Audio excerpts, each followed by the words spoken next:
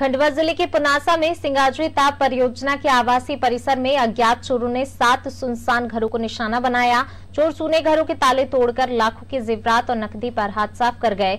चोरी की सूचना मिलते ही पुलिस के आला अधिकारियों ने मौके पर पहुंचकर मुआयना किया और जल्द ही चोरों को पकड़ने के निर्देश दिए। वहीं चोरी की घटना के बाद रहवासियों में दहशत का माहौल है और सुरक्षा एजेंसी पर भी सवाल उठ रहे हैं, क्योंकि आवासीय परिसर में सुरक्षा के लिए तीन एजेंसी लगी हुई है और सुरक्षा के नाम यहाँ करोड़ों रुपए का बजट खर्च किया जाता है।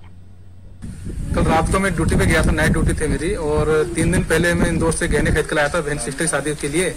और तकरीबन डेढ़ से दो लाख रुपए तक गहने थे, और रात में चोरों ने तार तोड़ के चोरी कर ली, पूरे गहने ले गए घर से चुरा करके। और अब पुलिस को बुलाया, देखो क्या करती है पुलिस इसमें।